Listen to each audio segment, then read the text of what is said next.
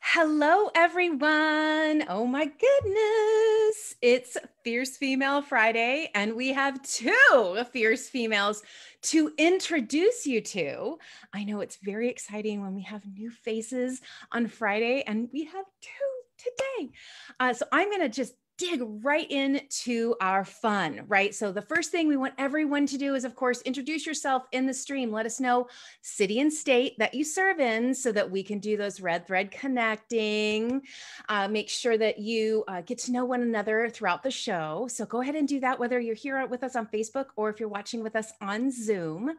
Uh, there is not um, a whole lot that I have to share about the Woman Up a community that I haven't shared mm. already. So we have had three amazing Friday shows and the wisdom session all on starting your own brokerage. So if you have thought for even a split second, is opening a brokerage for me? Or I want to grow my brokerage. What does that look like? Please, please, please take some time over this weekend to catch those replays. They are all here on the Facebook group. You can also go to the blog to catch some of the recap notes from the wisdom session. So take some time, give yourself the gift of learning and growing with your fellow Woman Up community members. Uh, and as always, if you've got a story to share, if something has been ignited inside you and maybe you opened your own brokerage and you've been kind of quiet about it, we would love to hear your story and to be able to share it with the community and inspire others. So head on over to iamwomanup.com slash share your story and share that with us. All right, Sarah, I know that you have some pretty big updates on your side. Oh. So I'm going to throw the mic to you. Hi, thank you. Uh, hi, everyone. Um, lots of lots of different things happening here at CAR and one huge huge thing that's close to many of our hearts is Joel Singer who is the CEO and has been at the helm of CAR for over 30 years has been with CAR for 43 years announced his retirement yesterday. So we have been blessed with his leadership. I have been personally blessed by his friendship, mentorship, and leadership uh, for the last 20 years. Under his um, under his guidance, I've been um, at CAR, and um, we are just so happy for him and his wife Karen and his grandkids, and sad for the CAR community. But um, but I have every faith and um, and confidence that CAR will prevail. And I'm not going anywhere, and neither is a whole bunch of others. And, and we just wish Joel well. Um, and on the, I know. I, I would say he is such, he's been such a huge supporter of Woman Up. Oh, and when a strong male leader is so incredibly supportive of the women who want to put something for women's empowerment together, like there's a special place in heaven for men like Joel. And so we are so grateful for all of the seeds he's planted with all of his leaders to create such an amazing environment for, for things like this. Absolutely. You know, I've been lucky enough to um, be on his leadership team at the VP level for about five years now, I think, and senior VP for about five months. But what I tell my colleagues is that Leslie let me fly. I was doing, I was doing everything. Um, and, and I was, yeah. Very... What is it that you don't do sometimes? I think. and I, I've been so blessed to be, to see that not only is he's so supportive of woman up but he is, practices what he preaches. Half or more than half of his leadership team is women. They are women and they're strong women and guy uh, mentors friends they're amazing. So so we will live on and his legacy will live on and he's not going anywhere. He's he, he'll be around but um but he'll he wants to get off the clock. So that's all good for him. Um okay on the work side open houses they're they're now you could do them and broker tours they, you can treat them the same as our open houses but just remember to serve food outside. And we just got a release from the california state government. Um, june 15th is going to be a big day. Um, where they will no longer have capacity limitations inside. Uh, physical distancing restrictions on attendees, customers, and, and guests will no longer um, be required. And, and this is a, a lot to do with uh, the number of vaccines out um, in California. I think 51% of Californians have had at least one vaccine, and that's really helpful um, because then you won't. They'll starting on June 15th, the the state will now implement the masking plan, the CDC masking plan, which considers vaccines as you you will not need to wear a mask if you have the vaccine. Um, and many other things. I'll pop some links in the chat. Um, we had our, our Friday town hall with the brokers in California today. All of the questions were about, you know, the opening, reopening, and we are fully prepared to answer all of those questions. But I will tell you, a lot of the questions that we have been um, asked are in our quick guide. So I'll pop that in the chat, not only here, but on Facebook Live and I'm happy to answer any questions that you come up if if they come up anytime. So you can email me at Sarah S at car.org. That's S A R A S at C A R dot O R G. And that love it. it for now. Love it. so you missed it because you were looking in the camera, but when you said, you know, masks, uh, you know, tossing to the side, literally Debbie had a pink mask and tossed it off the camera. so that was we we got a sneak peek into Debbie's personality right there.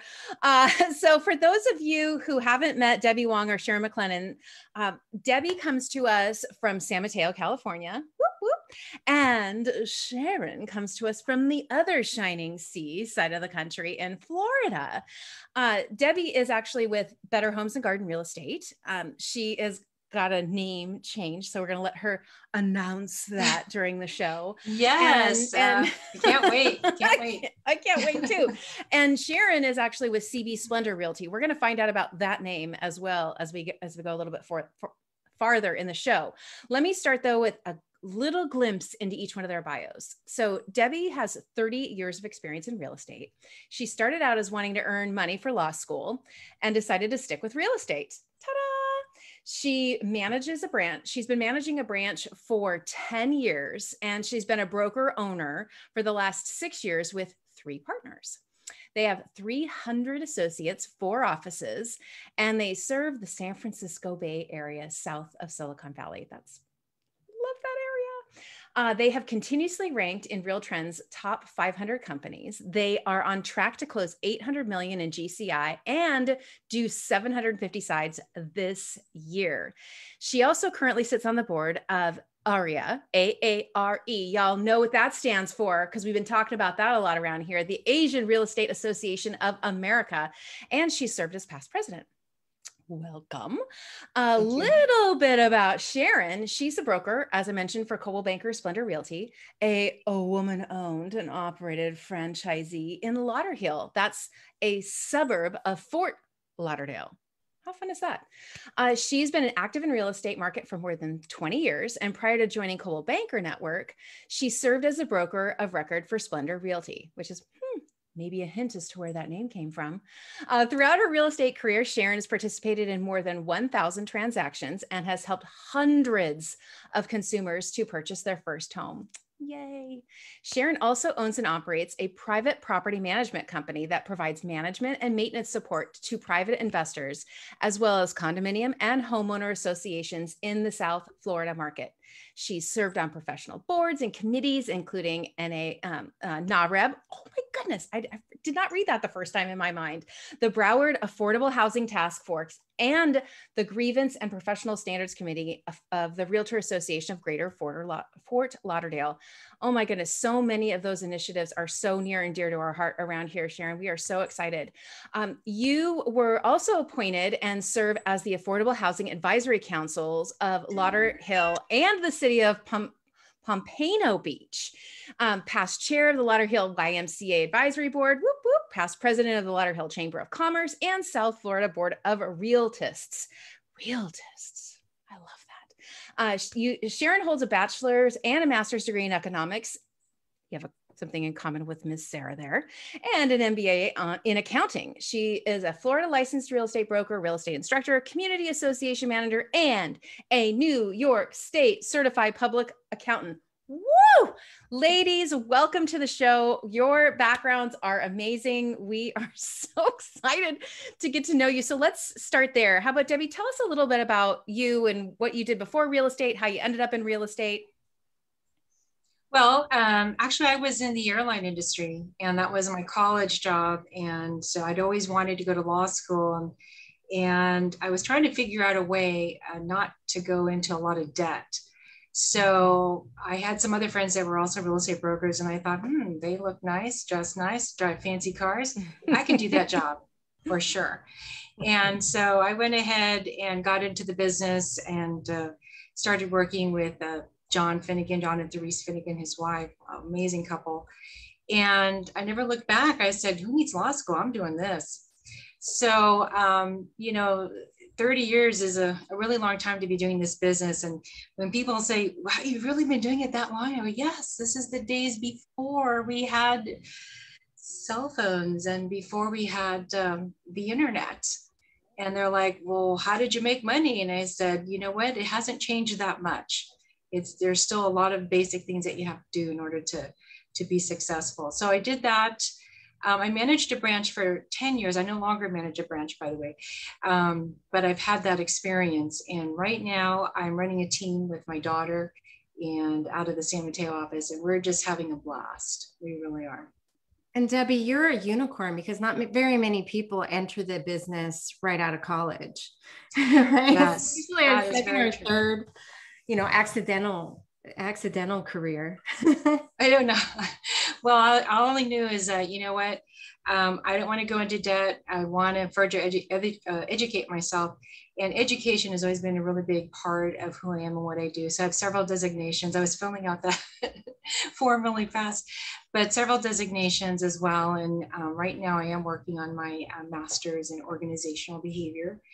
Um, so uh, it's it's a really exciting time and the beautiful thing about real estate is that there's just so many different facets and it can really be a part of your life for the the whole time that you're working and you never have to retire there's always something to do and something to be a part of Mm, I love that. I love that. So Sharon, tell us a little bit about you. I, I, mean, you have an extraordinarily like wide background. I mean, you've got even just where you've served. So what's your highlight reel sound like?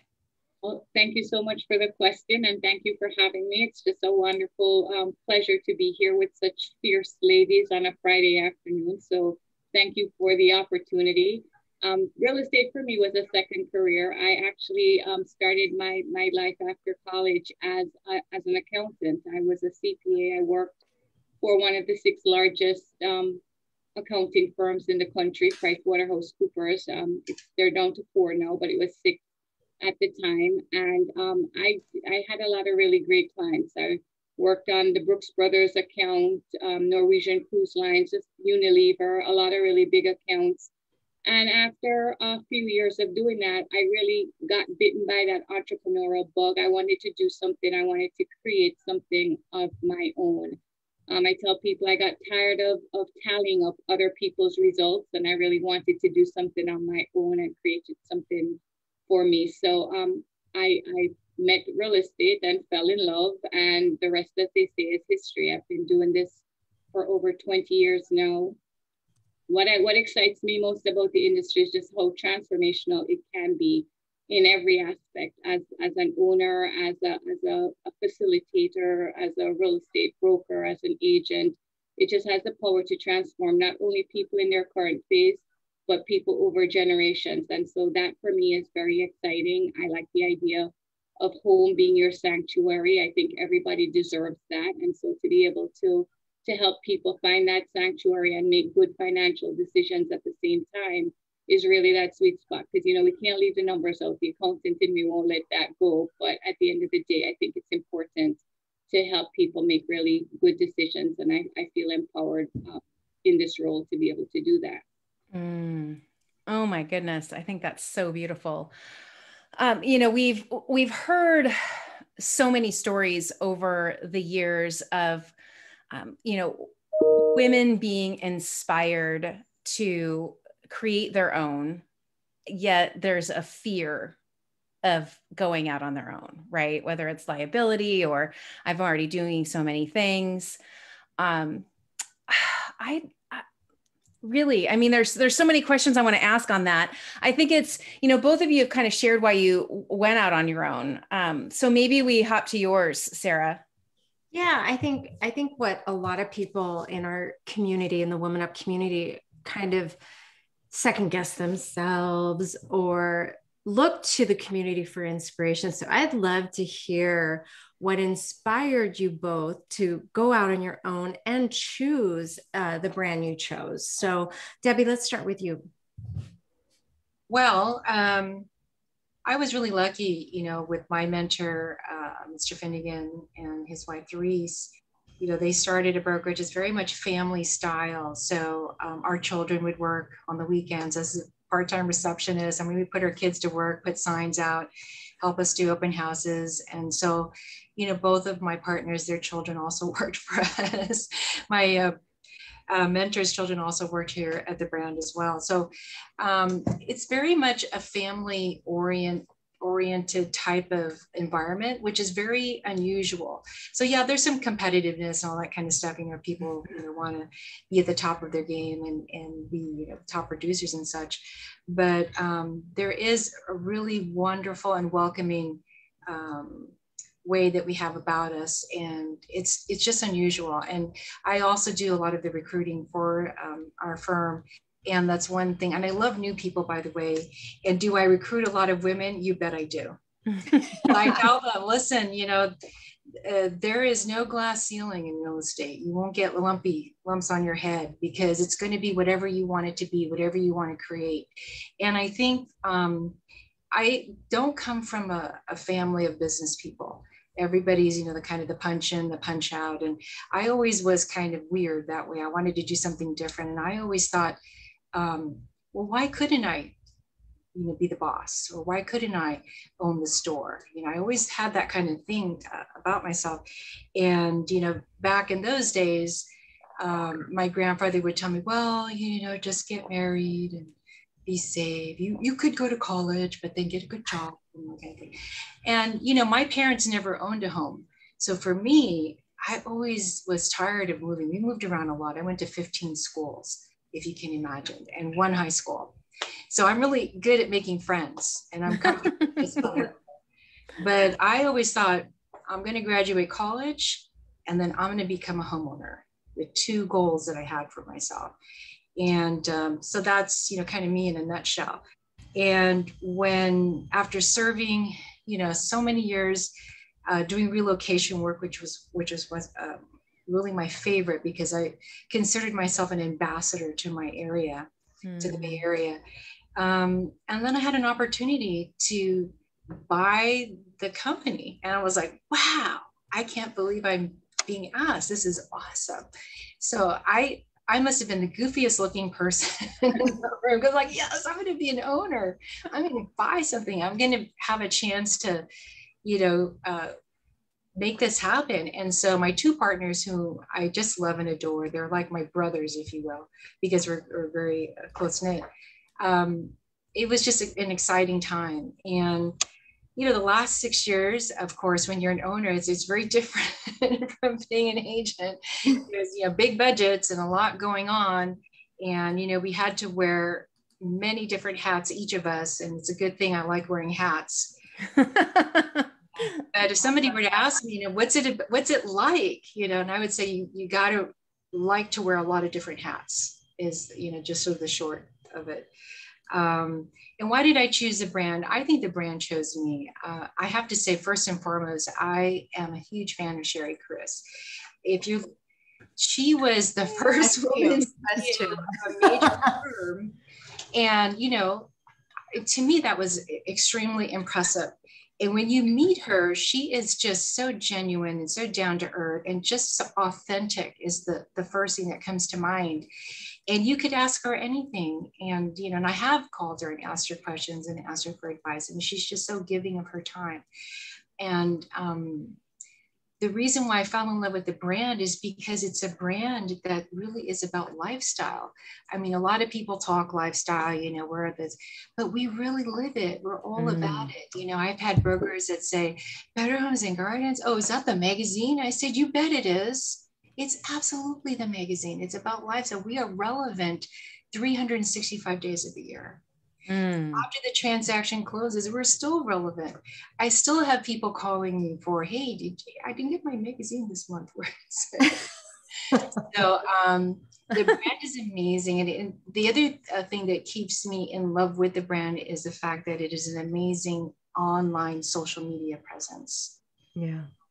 So I could talk, I could talk about it all day long, but I will not be rude. And oh, I, I love that. And I love that you, you, you heard opportunity knocking and you took that and you ran with it. So that's beautiful, a beautiful story.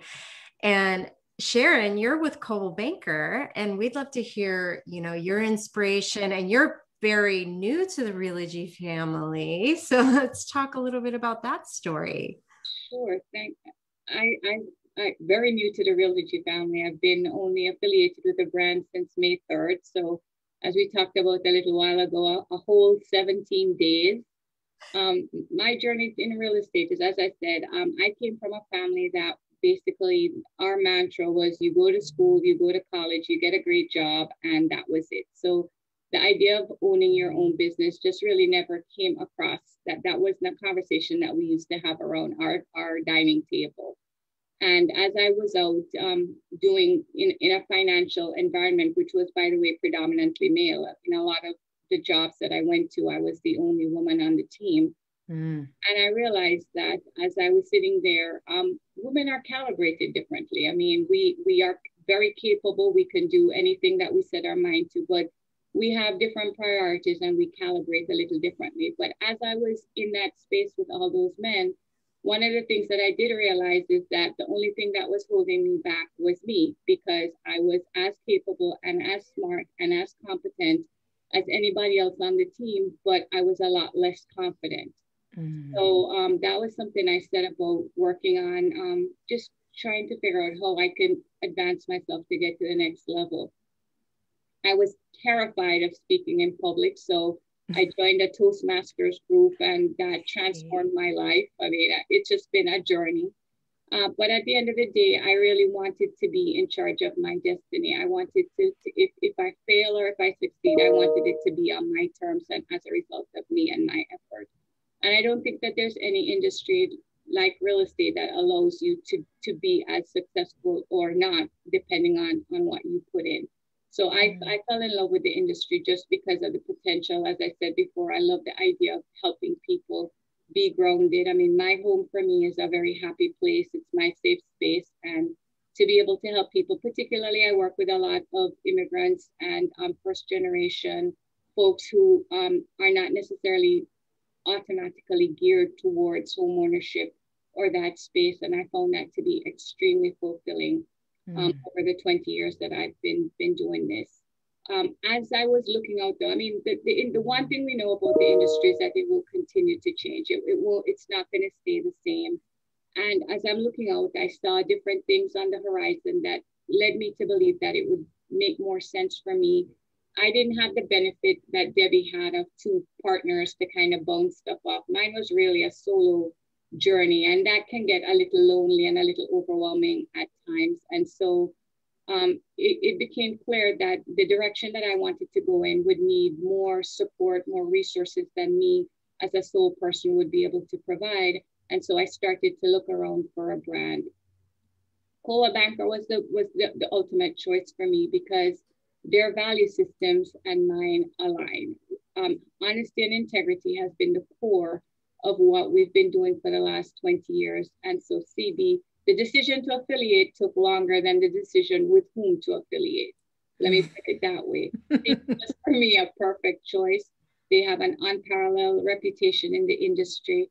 The agents that I met were incredibly professional. The, the team that, that I was talking to about the opportunity just was very warm and welcoming the, the, the, everything aligned. Of course, the technology, the tools, the resources were great, but for me, the clincher was the value system and just the reputation of the, of the firm that made all the difference.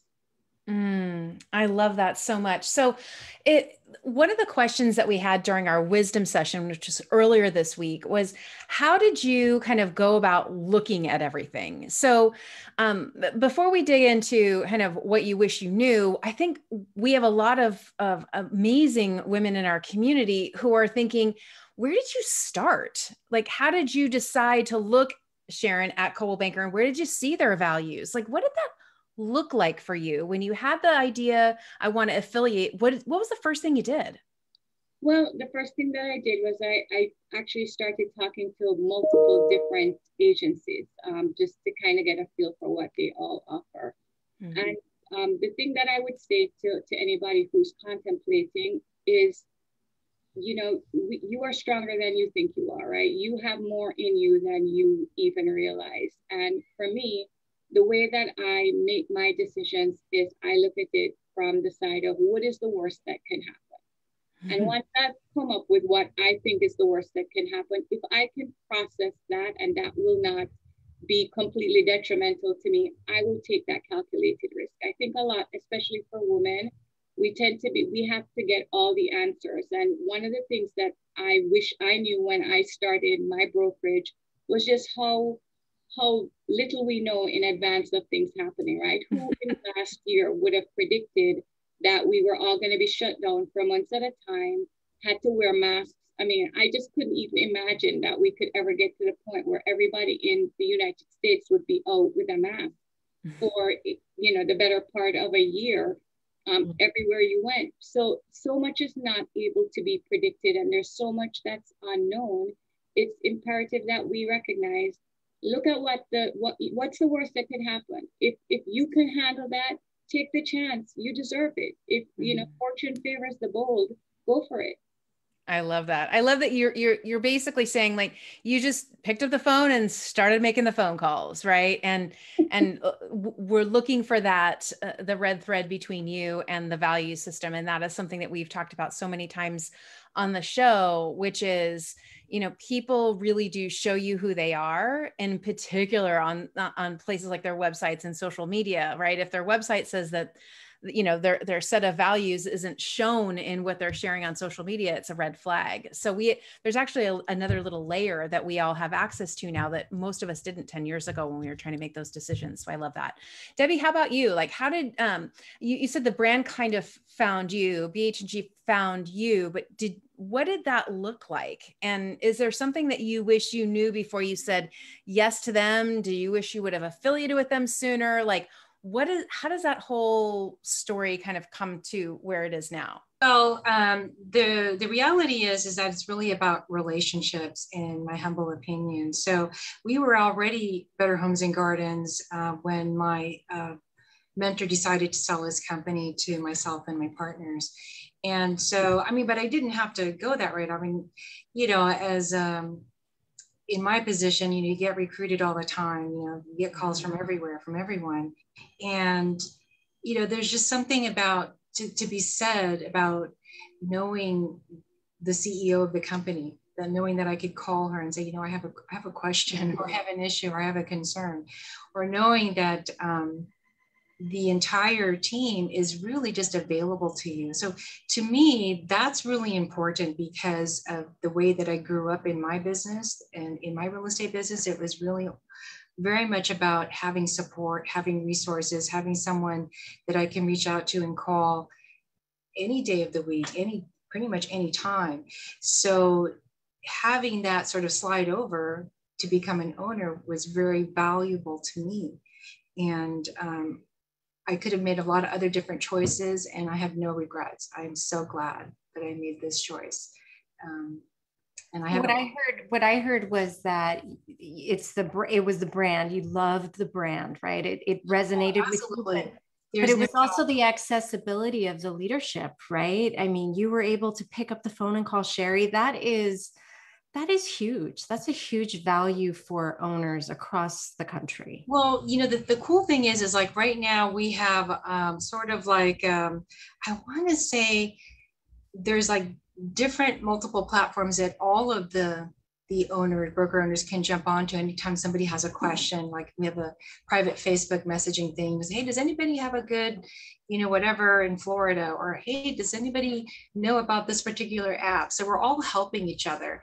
Um, there's definitely, uh, I would say, a lot of camaraderie. And again, you know, having come from uh, working for an airline where there was a lot of uh, barriers and it was very much kind of corporate you know, a lot of hierarchy. Um, I just really didn't want to have that again or have that experience again. That wasn't something that resonated with me or, or my personality.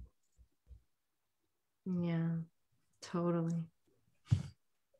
Okay, so let's see. Um, we've talked about why. We've talked about kind of how you made your decisions. Um, how about stories? So like what's um let's let's kind of go on the the lessons side of thing. Like what's been your favorite owning a brokerage lesson so far? Uh, let's start with you sharon. My favorite owning a brokerage lesson. I think my my favorite my, my, well, the most impactful lesson for me was just learning how fleeting opportunities can be. Again, just finding the the courage to seize the opportunity when it presents itself. And um, again, you know, by background, prior to real estate, I was an accountant. There's a reason I ended up in that field. I tend to be a little bit more conservative, maybe than I should be.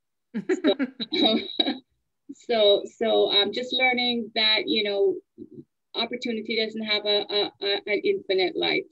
If, if you don't seize the, the moment when it's present, sometimes you ne- that never comes back to you. I, I truly believe that doors close and windows open, but sometimes you really needed to have walked through that door. And so, um, you know, just learning that, um, learning that, you know, no two days in real estate is ever the same. So when an opportunity presents itself, you need to be ready, willing, and able to take it on. Um, just, you know, immersing yourself. I, I think for me, um, learning how to be a better risk taker. Um, I, I love this business. I can't imagine doing anything. When I got in, into the business, I said, I'm going to retire from this business and I'm on track. I'm going to do that still. later, I'm still singing the same tune. So um, I guess something's working. But, um, you know, I, I, I really think that um, just being able to, to, to be less cautious um, be more assertive and, and confident. We have it within us. I mean, that is what I've learned over the 20 years, looking back. So many of the things that, that, you know, 10, 15 years ago used to seem so intimidating are just like, so, oh yes, so what now? And, um, you know, I just wish my, the message I would love to share with others who are thinking of pursuing um, this path is you are stronger than you think. I can't say that often enough. There is just so much more in you than you think you are capable of. Oh, Sharon, you know what I uh, there's so many yeah. so many layers of what you said that just sing to my soul. And you know, we know that women wait till everything's perfect, whether that's to apply for a job or to purchase the home or to start the business. Like we have in our heads, we've learned since we were children, you know, be a good girl, have everything ready, don't raise your hand unless you know the answer. You know, all of these things that I think that this generation is breaking out of and it's really inspiring the next generation coming up to to really embrace that sooner right? To to know yourself. And i love that you've said a couple of times like you knew in your heart that you weren't a risk taker and that you were afraid to talk in public right? Public speaking is in the top 3 biggest fears. And that what did you do? You took a risk and you took toastmasters right? And so for anybody who's who's listening to us live or, or catching the replay like what is your afraid to take risks? What is your public speaking fear? Right, like write it down, say it out loud, and then take a step towards slaying that dragon. Tame that self talk because look, like Sharon survived. She's even here on a Facebook Live, like telling her story to us, right? That's so beautiful.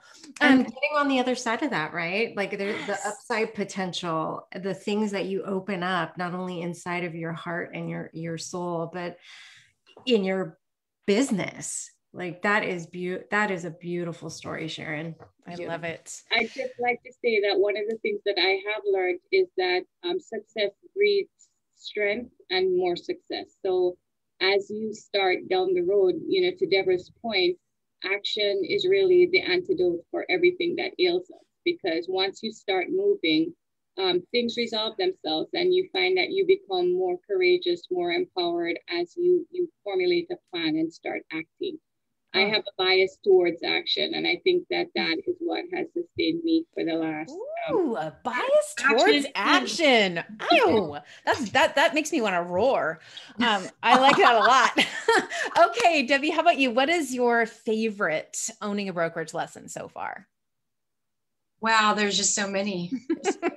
how can I pick just one? Okay, well, um, I think our daughters are watching, our nieces are watching. Um, whether we like it or not, you know, we're on social media or even in the office, you know, people are watching. And what are we going to do to help them feel encouraged, right? I remember um, I, my daughter said, you know, mom, should I should I go into real estate full time? Should I leave this administrative position? You know, I feel kind of worried about it. and she goes, it's 100% commission. That's really scary. And, and I said, you know, if that's what you want to do, you have to give yourself the opportunity to try it and to uh, prepare for it. You know, if you got have savings, all that kind of stuff, this is a lot of things that we do. Um, I, I, by the way, I, I also coach agents and also other business owners. So um, that's what we tell them you know is have a plan of action you know.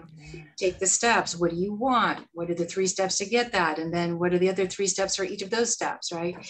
And so I, I had a girlfriend who is a psychologist and she read this very interesting book and i won't say the name of the author but it says you know women still don't get the corner office. So she said oh you got to read this this is really good you know i think you really like it. So i read it and then I threw it. I was just gonna say, where's that book so we can throw it off the camera? she goes, Well, what did you think of the book? And I said, What do you mean women don't get still don't get the corner office? My advice is if you want the corner office, then buy the building. Oh my gosh. I think I know what book you're talking about. Is that the oh one that God. says like women shouldn't bake cookies or something like that? You shouldn't plan the office, but good girls don't get the corner office or something right, like or that. Something like that. oh like, my gosh. So frustrating. Of, you know? and um, one of the really good books that I read though was Lean In. And somebody, you know, she got a lot of flack for writing that because they something like, you know, well, it's easier for her to become an executive because she's wealthy and she can get childcare and all this kind of stuff. And I don't think the people that uh, criticized her, I don't think they got the point. The point was, is know what your resources are. Okay, and if you don't have resources, how are you going to get the resources? Because I also coach uh, women, you know, that have young children and they're trying to start the business, all that kind of stuff. And I said the first thing we look at is what are your resources? You know, can you get away two nights a week this time and Saturday from one to four, so that you can work in the real estate business? Um, so those are my stories. Those are my favorite stories. Um, so well, you know, I just read an article, and for the life of me now, the name of the advisory uh, board flew out of my head, but it was this group uh, here in the States that called like 250 of the top CEOs earlier in um, kind of during the pandemic and said, we have got to fix well actually it was this january. Um, they they called them all and we're talking like google facebook um, some of the big accounting firms and said we have to figure out care child care elder care. And so like they basically the, the number one question they asked everybody in order to like join this advisory council was do you think that this is a problem like do you see it because we know the millions of women who were impacted during the pandemic who simply had to leave the workplace because they didn't have childcare and so still, i are, are still. yes are still and so there's there's some really interesting conversations happening around that debbie and i think that that it's important because i think that we i we're um I was per, I'm personally wasn't a huge fan of Lean In because the resources were readily available to her. Mm-hmm. And now she's part of this um, she's part of these stories and these conversation triggers well after that like since her second book came out right where she was like yeah, how do I actually create the platform for those resources?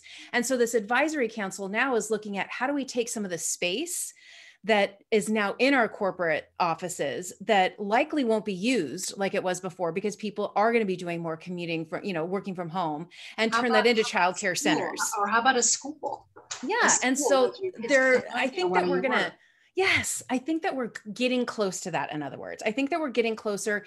Even eh, I'm not sure how that's going to look in real estate, but I do know that the government is actually even looking at programs for small and medium businesses. And I think that will open up a lot for women inside real estate who, you know, are like, who, if I, I'm a single woman and I have two kids, where do I find the sitter when I need to go do the, you know, show the house or do but the thing? Yeah, this is where the women have to reach out to the other women in their yes, say, the hey, village. Small kids, I got two small kids, you know, hey, maybe we can work something out. You know? Yes um, so good. Such a great reminder. Oh my What goodness. we did when the part, uh, pandemic first started was I immediately decided that I was going to call everybody and say, hey, listen, I'm going to do coffee chat with Debbie Wong. And I want you to come on and tell me how you're doing working from home. Mm. How's your Zoom looking? Where's your Where's your office at? Is it in your bedroom? Show us your office, you know, kind of thing. then I even Sherry Chris was on the coffee chat. I even called up some local uh, political officials and asked them, you know, how has the pandemic, you know, uh, affected the way that people work in government now? So it was really a lot of fun, and we had a good time with it but it, I just, we were trying to figure out a way very quickly to stay connected to all of our associates.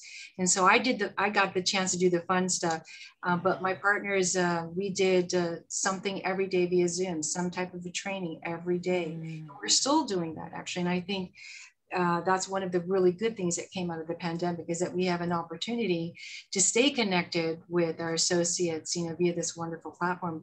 And without Zoom, I would have not met you three amazingly wonderful and beautiful ladies.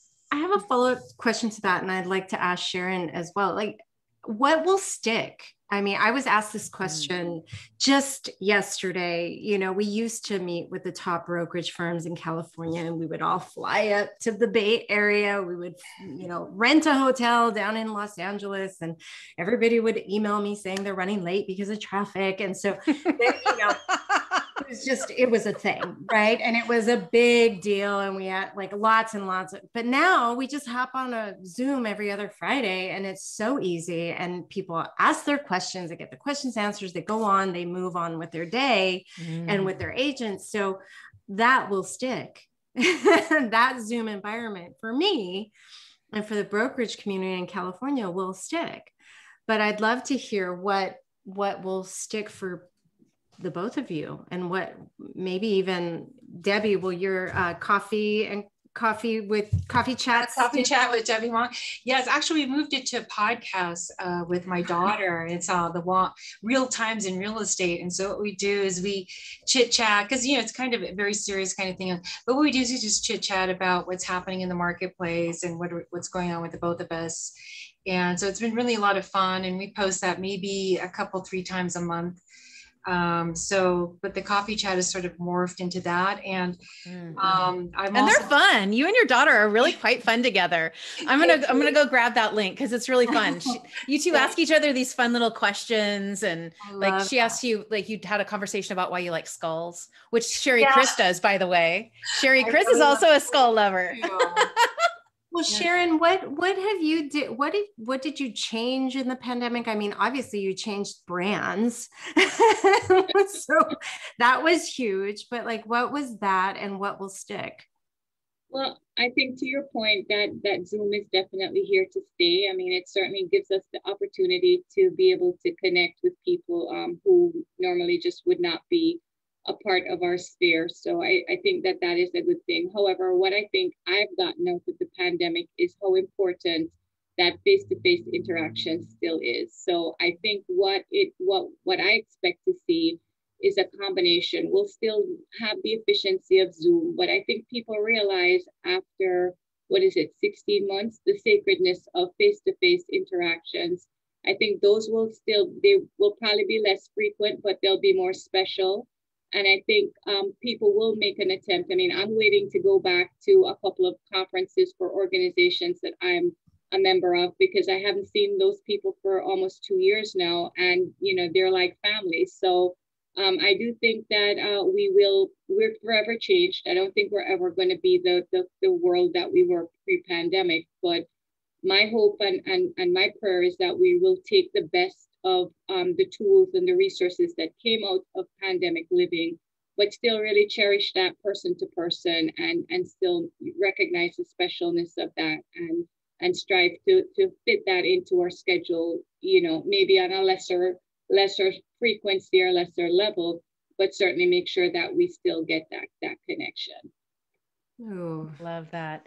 You know, when I actually think I just sent it to Sarah a couple of days ago, but I, I, follow this one gal on Instagram and she she does the lettering, you know, the fancy lettering where they do like the pieces of wood with the fancy words and the quotes and she she does she did this really fun one about a letter to my future self.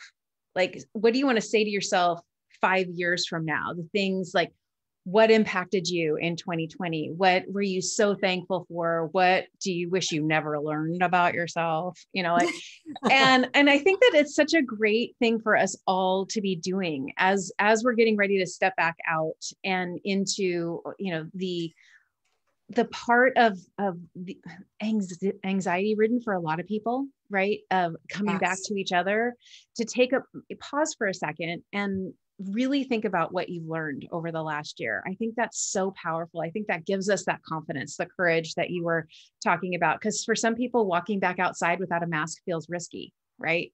We've mm-hmm. been inside for so long.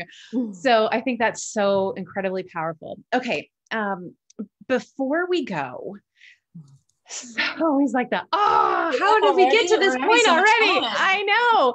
Um, we we'd love to give you an opportunity to um, share any final advice with the community um, on, on anything that we've talked about today or something we haven't talked about. But what is that? that advice that you want to sprinkle over us, you want to speak into us that is right at the tip of your tongue. Sharon, let's start with you. Okay, my piece of advice is be brave. Okay, a lot of times we spend our time second and third guessing to see what the opportunity is as I personally look back over my career, my biggest regrets center around things that I did not do. None of the things that I did, whether they failed or were successful, are the things that keep me up at night. The things that I really um, look back on with deep regret are the opportunities that went by that I did not take advantage of, um, that I didn't have the courage to seize at that moment. So mm. my my word of advice is be brave. As I said, multiple times. There's more in you than you realize. And take a chance because at the end of the day, I truly believe we're all worth it. You're worth it. Take the chance on yourself. Mm, that's so beautiful. So, Debbie, before you give us final advice, I'd love to give you the opportunity to unveil your new brand name. Yes, uh, we went from three monikers, which was Better Homes and Gardens, um, JF Finnegan Realtors and Better Homes and Gardens, Ventura Barnett Properties. And we are now all one name, Better Homes and Gardens Thrive. Congratulations. What a great word. I mean, it's pretty good on this outside of the building, the giant neon sign. I just love it oh my gosh. Oh, you'll have to post a picture. Neon. I will. Share I will. with us. Oh my goodness. Well, obviously you love green. So you're, you're da- absolutely with my green. I got my two dogs, you know, and my grassy thing. And yeah. Tiffany Foss from Sherry. So of course I'm very proud of that. Ooh, I love it. Wonderful. Okay. So share with us through Better Homes and Gardens, Real Estate Thrive. uh, what, what is your uh, final advice that you want to share with us today? Well, um, by the way, Sharon, I just love everything that you say. I could listen to you for hours. And everything you say just absolutely resonates with me to my all the way to my heart. So thank you. So I'm so blessed to be on this panel here with you today. And also with Sarah and with Deborah. But the one piece of advice that I could give is just be yourself. Yeah. Be your authentic self because when you are your, yourself, you're at your best. And when you're at your best, you can accomplish many things. So beautiful. Amen. I love that quote, you know, be be yourself, everyone else is taken, you know. like like, it's i think that there is so much beauty and we you know for the last it feels like I don't know, five or six years, the word authentic and authenticity were everywhere. Mm-hmm. And I think that this la- these last 14 to 16 months, we've actually learned who we are. Mm-hmm. And so I think that's even more powerful today than it would have been a year ago, right? Like, really, there's no, you gotta do it this way in this business yeah. you are the the mistress of your destiny in particular when you are the brokerage owners. So thank you both so much for sharing your wisdom with us. If there is one way for everybody to connect with you what is that? Is that through your website facebook? What's the number one way? Oh, for me, if you want to connect with me via via base, uh, our Facebook, it would be Debbie Wong Realtor, or you could just go to debbiewong.com. Okay. How about you, Sharon? The best way to reach me is probably through my email, smclennon at splendorrealty.com. Excellent. All have, right, ladies. Do we have like a minute for a question that came in? yes, us? of course, of course. So I'd love to ask Gracie's question, and let's start with you, Sharon. What motivated you to start studying for your broker broker's license? Ooh, that's a good one. Great question. Um, basically, um, I, I really knew that I wanted to to chart my own course and be my own boss. Um, that, as I said, that wasn't something that we talked about at, at my my dining table at home. So that was something just breaking out of that, working for someone else. I had two um, children at the time, and I wanted to build a business that I could leave for them if that was something that they were interested in. You know, I, I went to a conference recently, and someone said, you know, you can't leave someone a job. You can leave them a business, but you certainly can't leave them a job. And so for me, just creating a, an opportunity for my children to, to come into this business if they chose um, was important and, um, you know, just really fulfilling and, and a passion of mine. Beautiful. How about you, Debbie? Uh, very similar along the same lines. Um, uh, also because I really wanted to educate myself even further and learn more about, you know, economics and learn more about the law. I love the law, by the way. I love real estate law. And so I have a passion about all things real estate. And, you know, I've considered myself a lifelong learner. I'm going to keep learning. I'm going to keep going to school and I'm keep earning all of those long alphabet designation things that I have behind my name. I'm just to keep going and I'm never retiring, by the way. So awesome. in 20 years, find me. Just go to debbiewong.com. I love it. Oh my goodness. Thank you so much, ladies. We have so enjoyed our conversation with you. Uh, we appreciate everybody who attended and watched the show with us live, whether you're there on the Facebook group or here on Zoom. If you are watching the replay, let us know. And if you have any questions for Sharon or for Debbie, feel free to drop them in the comments. We'll make sure to get them to them and get the answers right back to you as soon as possible. As always, we wish you all an amazing weekend ahead and we look forward to seeing you next week. Take care, everyone. Bye. Bye. Bye.